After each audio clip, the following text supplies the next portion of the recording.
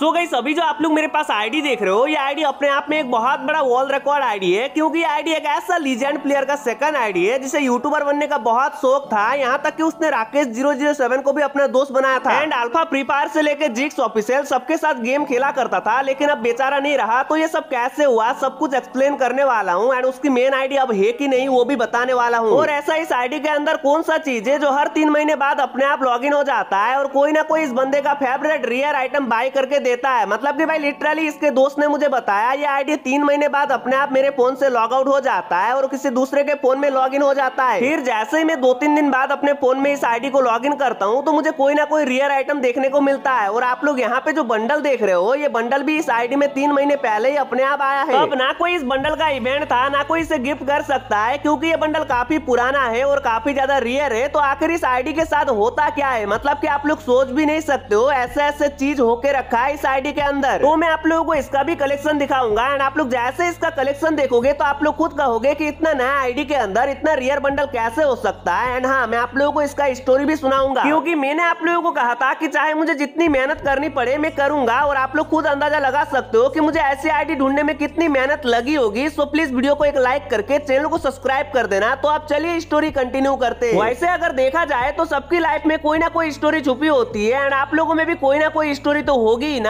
कैसे आपने गेम खेलना शुरू किया? गेम खेलते समय आपको क्या क्या परेशानी फेस करनी पड़ी? सो इसी तरह इस बंदे का भी सेम ऐसा ही एक स्टोरी है। जो कि अभी मैं आप लोगों को सुनाने जा रहा हूँ और ये स्टोरी मुझे इसी के पड़ोसी दोस्त ने बताया। सो ये बंदा उत्तर प्रदेश का रहने वाला था, जिसका नाम राहुल एंड इसका दोस्त का नाम देव था। तो दोनों ही स्कूल से आने के बाद अपनी मम्मी पापा के फ़ोन से मिनी मिल्टा गेम खेला करते थे। तब ये गेम काफ़ी पॉपुलर था एंड मुझे जहाँ तक पता है, इसको हर बंदे ने एक ना एक बार तो ज़रूर से खेला होगा, क्योंकि मेरा बड़ा भाई भी इसी को खेलता था। तो ये दोनों दोस्त आपस में मिलकर इसी को खेला करते थे और देखते ही देखते इन दोनों ने अपनी टेंथ के एग्ज़ाम पास कर ली। तब अपने मम्मी पापा को जिद करने लगे कि अब हमें नया फ़ोन दिला दो। एंड दोनों के माँ बाप ने इंटेक्स का वन जीबी रेम वाला फ़ोन दिला दिया क्योंकि तब इंटेक्स का जमाना था, सबसे बड़ा स्मार्ट सा दिखता था। तो इन लोगों को वो फ़ोन देखते ही पसंद आ गया। फिर जैसे उस फ़ोन को बाय किया, जमाना आया फ्री फायर का। अब इन लोगों को फ्री फायर खेलने का तो बहुत मन करता था, लेकिन फ़ोन का रेम एक जीबी होने की वजह से ये लोग उतना अच्छे से गेम ही नहीं खेल पाते थे। फिर दोनों ने डिसाइड किया कि अब हम लोग खुद काम करके एक नया फ़ोन लेंगे। लेकिन दोनों के घर वाले कहने लगे कि नहीं नहीं अब तुम लोगों को फ़ोन दिला दिया है तो अच्छे से पढ़ाई करो। लेकिन ये लोग कहने लगे नहीं नहीं हमें तो जैसे भी करके इससे अच्छा फ़ोन चाहिए वरना हम लोग जा रहे हैं खुद काम करने। फिर घर वालों के साथ इन लोगों का बहुत बहस हुआ लेकिन क्या करे बेचारे मिडिल क्लास फैमिली से थे तो मम्मी पापा भी इन लोगों को नया फ़ोन दिला नहीं पाए। तब ये लोग घर से करीब पाँच किलोमीटर दूर जाके एक फैक्ट्री पे काम करने लगे। और करीब पाँच महीने काम करने के बाद दोनों ने सैमसंग का फ़ोन लिया। फिर दोनों आपस में मिलकर बहुत ज़्यादा फ्री फायर खेलने लगे। फिर एक दिन ऐसा भी आया जहाँ राहुल देव को कहता है, अब मैं रैंक पुश करके यूट्यूब में वीडियो डालूँगा और मैं भी बहुत बड़ा यूट्यूबर बन जाऊँगा। फिर राहुल एक यूट्यूब चैनल बना के रैंक पुश करने लगा और देखते ही देखते वो देव के साथ खेल के हीरोइक पहुँच गया, लेकिन उसे ग्रैंड मास्टर टॉप वन करना था तो उसे और भी अच्छे अच्छे बंदे चाहिए थे। अब वो देव को कहता है, अब मैं दूसरे बंदे के साथ रैंक पुश करूँगा। मतलब वो डायरेक्टली तो देव को कह नहीं पाया कि अब मैं तुझसे गेम नहीं खेल सकता तो देव समझ गया कि अब ये मुझसे गेम नहीं खेलेगा तो दोनों ही धीरे धीरे करके अपने अपने नए नए दोस्तों के साथ गेम खेलने लगे। लेकिन रैंक पुशिंग के चलते राहुल बहुत ज़्यादा ही गेम खेलने लगा तो घर वाले भी उसे देख के परेशान होने लगे कि अब मेरा बेटा पूरी तरीके से बिगड़ चुका है, लेकिन उसे तो रैंक पुश करके टॉप वन करना था और अपना यूट्यूब चैनल ग्रो करना था तो वो किसी की भी बात नहीं सुनता था, बस दिन रात गेम ही खेलता रहता था। फिर देखते ही देखते एक दिन उसके गेम में अल्फ़ा फ्री फायर आया, जो कि तब उसका नाम अंकुश एफ़ हुआ करता था और काफ़ी ज़्यादा पॉपुलर भी था तो राहुल ने उस गेम में पूरा कैंपिंग करना शुरू किया और अंदर ही अंदर सोचने लगा की अब मैं जैसे भी करके अंकुश एफ़ को मारूँगा। लेकिन बेचारा अंकुश एफ़ का एडब्ल्यू से बच ही नहीं पाया तो सिंपली उसे फ्रेंड रिक्वेस्ट भेज के गेम बेक कर दिया। लेकिन दूसरे दिन जैसे ही गेम ओपन किया तो अंकुश एफ़ ने उसका फ्रेंड रिक्वेस्ट एक्सेप्ट कर लिया था तो वो काफ़ी ज़्यादा खुश हो गया और अंकुश एफ़ को अपने ग्रुप में बुलाने लगा। और करीब तीन चार बार ट्राई करने के बाद अंकुश एफ़ ग्रुप में आया और मैसेज में बातें करने लगा एंड राहुल का गेम प्ले अच्छा होने के कारण अंकुश एफ़ भी राहुल के साथ गेम खेलने लगा। मतलब की दोनों की थोड़ी बहुत अच्छी खासी दोस्ती होनी शुरू हुई। तो एक दिन देखते ही देखते राहुल के बर्थडे के दिन ही क्रिमिनल बंडल का इंक्यूबेटर आया तो अंकुश एफ़ ने इसे दो डायमंड का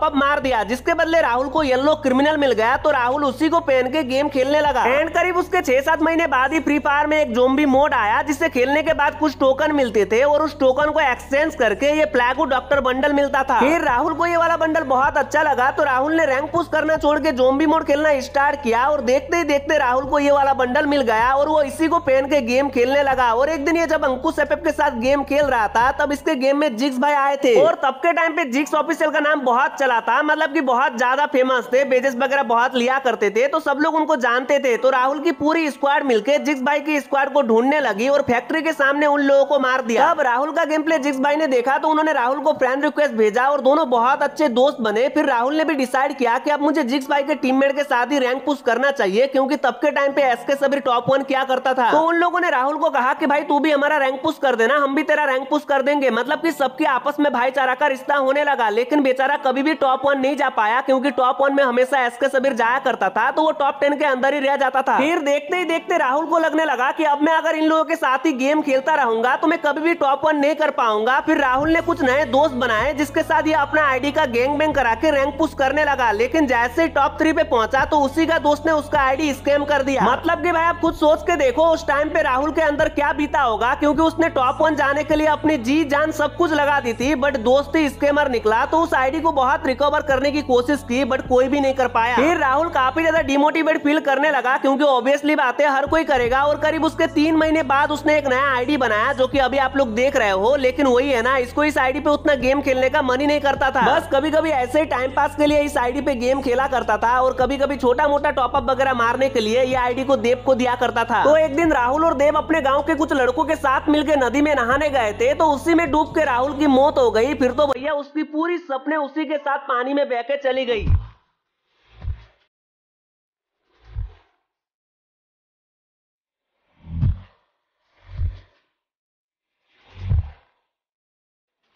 इतना होने के बाद मुझे देव ने बताया कि सोनू भाई राहुल के जाने के बाद से ही इस आईडी पे कुछ अजीब अजीब चीज़ें होने लगी। मतलब कि आईडी देव की फ़ोन से अपने आप लॉग आउट हो जाता है और दो तीन दिन बाद देव जैसे ही गेम ओपन करता है तो उसे कोई ना कोई रियर चीज़ें देखने को मिलता है। और उसका मानना ये है कि ये बंडल उसका फेवरेट हुआ करता था तो उसी ने इस आईडी को लॉग इन करके लिया है। अब ये बात कितना झूठे, कितना सच है, ये तो मुझे पता नहीं है बट ये जो स्टोरी है, ये तो हंड्रेड रियल है। क्योंकि आप भी समझ सकते हो की मैं किसी की फेक स्टोरी को थोड़ी ना इतना मेहनत करके बनाऊँगा सो अगर आपको ये वीडियो अच्छी लगी हो तो वीडियो को एक लाइक करके चैनल को सब्सक्राइब कर देना और बाजू में नोटिफिकेशन बेल को ऑल पे सेट कर देना। और इसी के साथ अगर आप लोगों ने अभी तक वीडियो को शेयर नहीं किया है तो शेयर वाले बटन पे क्लिक करके अपने सभी दोस्तों के पास इस वीडियो को शेयर कर देना। और अगर आपका भी कोई ऐसा ही स्टोरी है तो आप मुझे इंस्टाग्राम पे फॉलो करके अपना स्टोरी बता सकते हो। मैं हंड्रेड परसेंट ट्राई करूँगा की आपका भी स्टोरी सभी को सुनाऊं तो आपको भी मेरा चैनल पे आने का मौका मिल रहा है। तो ज़रूर से मुझे इंस्टाग्राम पे फॉलो कर देना। यहाँ पे आप लोगों को दिख रहा होगा मेरा इंस्टाग्राम का प्रोफ़ाइल एंड हाँ फॉलो करते ही अपना आईडी पासवर्ड किसी को मत दे देना। पहले कंफर्म कर लेना कि मैं हूँ कि नहीं तब जाके आप लोग अपना आईडी पासवर्ड मुझे शेयर करना और मैं जिससे भी आईडी लेता हूँ मैं उसके साथ पहले वॉइस मैसेज करता हूँ। तो इन सब बातों को ध्यान में रख के ही अपना आईडी पासवर्ड शेयर करना वरना और कोई स्कैम कर लेगा और आप मुझे कहोगे बेकार में मेरा नाम खराब हो जाएगा तो प्लीज़ यार ध्यान में रख के अपना आईडी पासवर्ड शेयर किया करो। तो अभी तो मैंने राहुल भाई का सेकंड आईडी का आप लोगों को पूरा कलेक्शन दिखा दिया। सो होप करता हूँ कि आप लोगों को ये वीडियो अच्छा लगा होगा। तो वीडियो अच्छा लगा हो तो यार शेयर करना तो बिल्कुल भी मत भूलना। सो मैं मिलता हूँ आप लोगों से नेक्स्ट स्टोरी टाइम वीडियो के साथ। आज के लिए इतना रहा। बाई